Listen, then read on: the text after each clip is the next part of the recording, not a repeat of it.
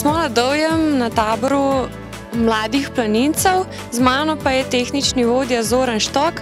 Pa me zanima, kdo organizira tale tabor?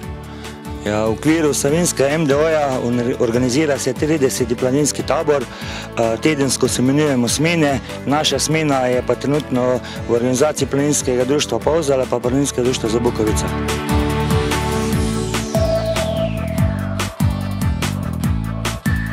Gospod Milan Polavdr, vodja tabora mladih planincev, kaj se v vašem taboru dogaja?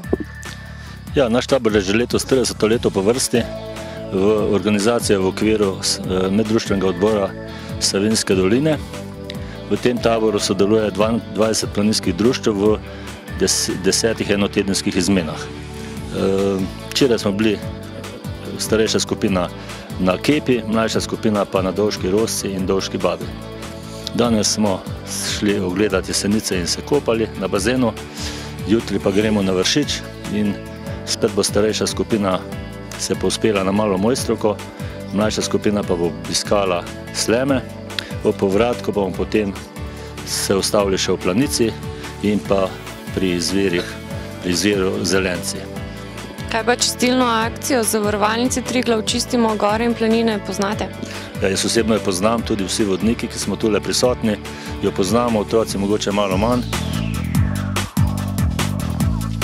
Na mladih svet stoji in če bojo mladi naredili to deželo lepo in čisto, bo čisto, draž pa ne bo. In zato smo s seboj prinesli tudi tele smetarske vrečke, eh, ki smo jih letos že razdelili po 55 planinskih postojankah v Sloveniji. Sedaj le bo vsak od vas dobil eno tole vrečko, izvoli. Mal ne ti bo za spomin, mal ne bo tudi za to, če boste kakšne odpadke videli. Zdaj pa po pravic povej, si že pobral takole kakšen odpadek v hribih? Um, ja, cigarete pa... Cigarete? Kakšni so, ne? Kar po hribah kadijo? Ja. ja. Ne, že tam okoli pozela imate tudi dosti hribov, ne? Ja. Pa so čisti ti hribi? So, ja. Dokaj. Ja, si se kdaj udeležila kakšne akcije, da se to malo počistili tudi? Okoli šole smo imeli um, čistilno akcijo, drugič pa ne. Milan. Kaj pa gleda v, v tele eh, na taboru vas kaj vzgajajo, da morate paziti, da je čisto? Ja. Ja, res? Ne? Pa ste videli že tako kakšne take odpadke, vse naokrog? Ko smo šli na kakšen prehod, pa smo videli, pa smo pobrali. Ste pobrali? Ja. A ti tudi si sodelovala v čistilni akciji? Ja. Drugač, kako ti je pa všeč na planinskem taboru? Zelo. Ja, zakaj? Zato, ker je blizu gozda. A veš, zakaj si dobila to vrečko? Ne.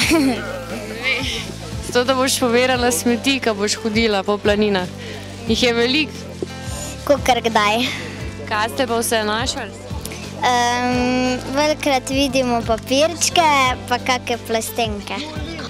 Števka Urh je vodnica tukaj v planinskem taboru v Dovjem, ampak uh, me je pa prej opozorila, da sem bila poznala že ne 20 let. Ja, ne? točno. Ja, namreč srečevala sva se na naših čistilnih akcijah in pred kakšnih 20 leti smo res imeli tako znamenito čistilno akcijo v Kamenški bistrici. Točno tako je bilo. Spomnite, ne? Se spomnim A tega. se spomnite, koliko smo takrat nabrali njih smeti? Ja, meni se zdi, da takrat jih je bilo recimo enih 200 ton. Ja, za, za, za ne par tovornakov. Ja, ja. Bilo neverjetno, kaj vse je ležalo po teh čudovitih gozdovih, ampak vi ste se pol še udeleževali naših. Jaz sem se še udeleževala pol na Triglavu, ko je bila uh, par let zapovrstjo uh, ta očistilna akcija. Sam vsako leto je bilo manj uh, te svinarije proti Triglavu.